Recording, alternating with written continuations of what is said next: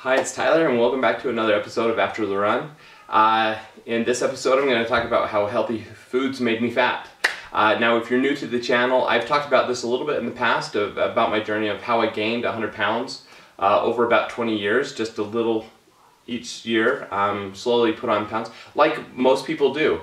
Um, but and I've also talked about how I lost those same 100 pounds in this last year, um, doing things that most people do not do. Okay. Um, now, during this journey for me, as I've lost 100 pounds, and I'm not quite there yet, I'm at about 90 pounds right now. Um, but um, as I've been losing weight, I've realized that um, I don't, I'm not losing the weight the same way that experts are telling me to lose weight. I'm not losing weight doing the things that as I grew up, um, they taught me in school and the, the, your conventional health wisdom. And I don't think I have all the answers for you, but I want to share what I have done uh, and why I think doing uh, the conventional things and following traditional wisdom on health, why that made me gain weight, not lose weight. Uh, and why that's such a problem in our society today. Now, I want I need to start this video with the caveat. What has worked for me might not work for you, and that's the whole point is it's finding out what works for you and what works for your body. And not all calories are created equal. Not all bodies work the same. We don't burn energy in the same way. Some people have health advantages in life. Some other people have health disadvantages in life. And so it's figuring out, that's the journey that's important, is figuring out what makes you healthy, what makes you feel good, um, and how you can maintain that over the long haul, um, living a healthy, happy life without stressing and without calorie counting all the time and doing all the unnecessary things that actually often lead to weight gain and yo-yo dieting and problems with health. So let me just tell you a little bit again to recap why and how I gained weight. Over the last 20 years, I've lived a pretty normal life. I've worked a full-time job and ha I have four amazing kids and a wonderful wife. Um, I have the same struggles, money issues, finishing our basement, um, trying to make sure I'm doing a good job at work, having side hustles and hobbies on the side that interest me. I'm normal, you know, I, I just have the normal things that happen. And when it comes to food, I think I'm mostly normal too, with a few exceptions. Uh, there are some things that I've never had. I'm not a smoker, I'm not a drinker. Um, and so I know most people uh, at least drink um, socially and things like that. So I'm a little different in that regard. But aside from that, I like sugar. I, I like fruits. I like and vegetables. I um, I like me a big steak and, and things like that. And so over the last 20 years, um, I've tried the different things. I've tried going without sugar. I've tried giving up um, different kinds of things in my diet to see what would work. I've tried calorie counting. And in most cases, when I've done those things, what has happened is I've had a little bit, little bit of success in the short term, but it wasn't long-term sustainable. It wasn't things that I wanted to do for the rest of my life. I want to eat ice cream. I like ice cream. And so going without it for six months, then when I can eat it again, I'm going to compensate or overcompensate for what I missed out. And that binge eating is what contributed in, in a large way to my weight gain. Is I would try things and I'd lose five or 10 pounds here and there. Uh, but then when I went off that diet or whatever that thing, and, and I didn't really ever adhere to a specific diet. I didn't do Atkins or paleo or keto or any of those things. Uh, but I'd try little things that were part of those kinds of diets and try it out. And most of them worked. Um, but they weren't things that I wanted to do for the rest of my life, and so it made it really difficult. Now, you could say that what I've done for the last year is the same thing. I've made changes to my lifestyle uh, and to my diet that maybe long term aren't sustainable. Um, what's interesting is for my first six months of weight loss, I did give up a lot of things, and that's where I lost most of my weight. Um, and in the last three or four months, I've eaten a lot more like normal people. Last night it was my it's my wife's 40th birthday today, and last night we had a dinner party where we invited guests over and we did a murder mystery and people brought appetizers and they were good things. So I had crepes, I had deviled eggs, I had um, quite a bit of chocolate. Those little dove things, I probably had like 15 of those. Um, there were good drinks. um, and different things there. And I had most of those.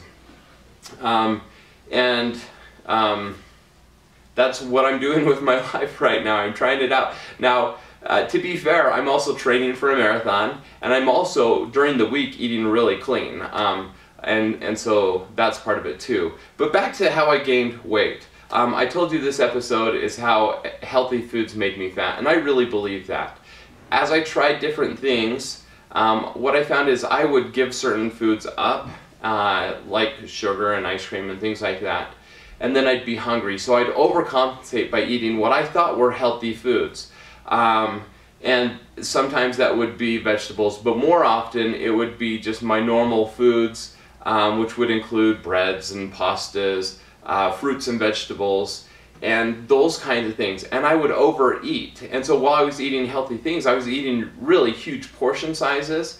And the biggest thing is there were certain foods that made me hungrier. And so as I ate those foods, I continued to gain weight. Uh, let me give you a few examples. For me, the biggest thing is fruit. Apples, oranges, the things that you can buy in bags at the grocery store, we would buy in bags at the grocery store. We'd bring them home or I'd take them to my office. And if I ate one apple, it would make me hungry for another apple. And I can, honestly, there have been times where I've eaten a whole bag of apples, like a three pound bag of apples in a day. Or a three pound bag of oranges or clementines, I've done that in a day. And the reason I did that is as I ate those things that have a lot of natural sugar in them, those would trigger things in my brain that would make me hungrier. And so while they have a lot of good vitamins and, and minerals and, and things that are healthy for my body and I need those kinds of things, there are certain foods that make me hungrier. And recognizing that this last year has made a big difference because I can eat a lot less because I'm not hungry anymore. I'm eating foods that fill me up, uh, that satiate my appetite. When it comes to your appetite, you have to think about your gut, and so that often involves prebiotics and probiotics. You have to think about your brain, and that's going to uh, involve like trigger foods, um, starchy foods, processed foods, high sugar foods, added sugar foods those things, which will trigger things in your brain. And then there's hormones and anatomy. And there's not a lot you can do to control that. There are things that you can do with supplements and other things. And I'm actually pretty anti-supplement right now. And so I don't know as much about that area. Uh, but those three areas are, are what make you hungry. Well, I found that for me the biggest thing was those trigger foods. So I tried giving up fruit. Um, and I found I could still eat berries and they didn't make me hungry. So I would often have frozen berries uh, as part of my meal, or I would, I don't make shakes or smoothies anymore because those were triggers for me. Um, but occasionally I'll have a healthy green smoothie and I'll put berries in that. Uh, and that doesn't make me as hungry, as, especially if I don't have added sugar in those smoothies. So, um, so getting rid of fruit. For me, bread is a huge one. Uh, if I have bread, and that includes things like pizza, I get hungrier for more. Now, we still have pizza every Friday night in our home. Uh, and I know that's not a great idea. Um, I've certainly cut down. I used to eat three, four, five slices uh, for dinner. Now I eat one or two. Um, but I'll admit, it does, I'm still hungry for other things. So I have to have either a good salad with that dinner or something else. Um, so bread is a big one for me. I found that other things that are high starch, kind of carb, complex carbs, similar to breads, aren't as bad for me. So pasta doesn't necessarily make me hungry. I don't love it, so we don't have it that much anyways. Rice, same thing. It doesn't make me hungry. Um, but sugar definitely does. Um, any kind of added sugar to things, the sweeteners. Um, and here's the big one. Drinking, a lot of people drink their calories and soda is one of the worst things because it's high in sugar, high in calories, high in sodium. It's a lot of things that will make you hungrier. And so soda is a killer. But um, I've never really cared for soda, and so that wasn't a big thing for me. It was juice, uh, fruit juices. And fruit juices have a lot of natural sugar, so even 100% fruit juice, that would make me so hungry for other things or thirsty, and so I would start drinking those calories. So what I decided to do, uh, following conventional wisdom, things that were taught to me was, well, try the diet soda, the zero calorie drinks, even the zero calorie water that has like different sweeteners like stevia or other things. And guess what? Those things also make me thirsty. Artificial sweeteners often make me hungry for other things. And so while I feel good about drinking, I'm like, this is no calories, I'm doing great. Well, I would overcompensate. And so when I gained the most weight in these last few years, it's because I was doing a lot of zero calorie, low calorie things. Rice cakes was another big one for me. If I eat rice cakes, it made me hungry for other things. So low calorie uh, snacks were horrible for me um, and made me hungry. So getting rid of sugar was a big one. Processed foods, anything processed. So if it comes in a box or a bag or from a fast food restaurant, um, those things usually make me hungrier for more. Um, now, it doesn't mean that I avoid those altogether, but I am more strategic about when and how much I eat um, because I don't want to just keep eating. So what do you do if conventional wisdom says eat fruits and vegetables but they make you hungrier? Make sure you have so many carbohydrates as part of your food pyramid or whatever. Um, I've gone more to, I'm not on a keto or paleo, but I am on a higher protein and even higher fat diet. And the reason I'm doing that, I, I have actually quite a bit of butter in my stuff. Aside from butter, I avoid dairy because dairy is another one that makes me hungry. Um, but I'm pretty high fat in my diet, pretty high protein, a lot of eggs, lean chicken, uh, stuff like that. Um, but what happens is I have those meals and it makes me less hungry. I just ran a half marathon this morning. Um, next week I'm in a marathon, so this is my taper week, so I'm lower mileage. I know half marathon doesn't seem like low mileage, but for me I've been doing 20 milers on Saturdays, so this week it's less. Well, what's my recovery meal? Um, actually, I'm going to do a little bit more cardio this morning. I'm going to do some lifting and I'm going to go on the bike. But after that, for lunch, I'm doing scrambled eggs with a little bit of cheese on it. I'm gonna fry up some Spam, which is super high in fat and sodium. It's not good for you, but it's my wife's birthday and she wanted some. So I'm gonna fry up some Spam, uh, maybe some bacon or sausage. So we're gonna have a lot of different meats. Those are all proteins and they're not, they're not all great for you. But right now, because I've done a lot of cardio this morning, I'm a little salt depleted because I've been sweating and I've been working hard. Those things are actually going to satiate. They're going to help me with my hunger so I don't have to have a huge amount. And then I can go the rest of my day without having snacks, just having a normal day, and then I can have a normal dinner. Uh, and that's the key for me is what are the things that actually satiate your hunger? And I found certain proteins. Eggs are a really good one for me. Um, and other kinds of meats are good for me. Um, but I don't want to be on a high meat diet, and so I'm looking for other things. I found that sauteed vegetables really are awesome because I can have a lot of those and they fill me up so I don't need other things. So I'm doing a lot of squash, zucchini. For lunch, I'm shredding my lettuce because I want it really fine so I can put other things on it.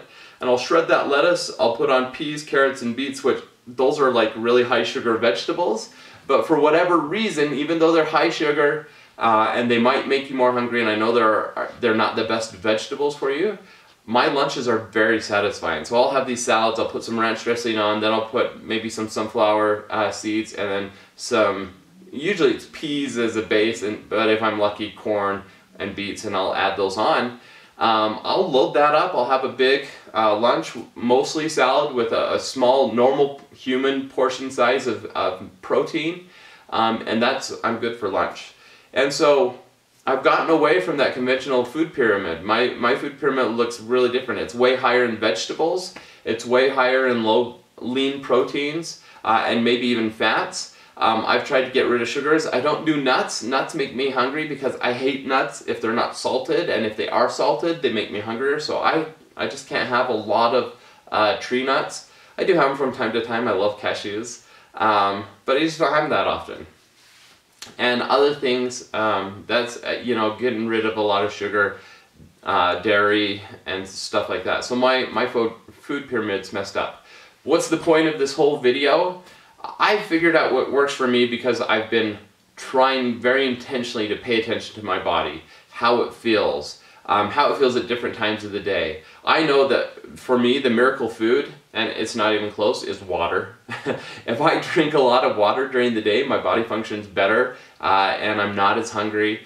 And so giving up certain snacks and replacing it with water, ice water, that has made a huge difference. But I've tried a lot of different things, tested it out. Usually when I try something out, I try it out for two to three weeks, see if I feel different. Um, it might not make a difference on the scale, but I do feel different. And that's the crazy thing. I, I mentioned I lost most of my weight in the first six months. Well, since in the last like four months, I've probably lost five pounds. but I've lost three or four inches off my waistline. I've lost three or four percent body fat. Um, I certainly feel better. So while I'm not losing a lot of weight anymore, that's kind of slowing down. I still think I have 20 or 30 pounds to lose, um, but I'm not going to sacrifice muscle to lose that weight. And so I've continued to work out. I've been training for this marathon. I've been lifting because it makes me feel good and I like how I look. And so this is all just experimenting with different things. I hope that you're willing to experiment, give it a try. Let me know uh, what your experience is like. Um, in the comments today, here's what I'd like you to do. Go ahead and put what is a one food that makes you more hungry and what's one food that is really satisfying that you can eat and you feel like it, it really feels what you need um, is really satiating for you and maybe even healthy. So that's what I'd love to see in the comments. Let's make this productive uh, and help each other out. I, I really want to learn from you what are those foods that, that make you feel better and make you feel full. And then maybe we'll do a follow-up episode down the road and list all those foods out and give you share ideas with one another. All right? Have a great week. I'll talk to you again next week. Bye-bye.